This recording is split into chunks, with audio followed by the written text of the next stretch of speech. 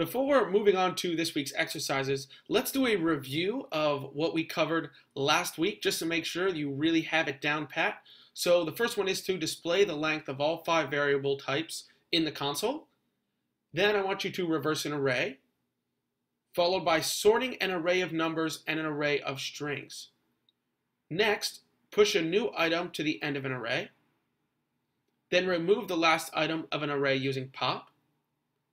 Add a new object at the beginning of an array of objects using unshift. And finally, remove the last object at the beginning of an array of objects using shift. Go ahead and complete these before you move on to this week's exercises.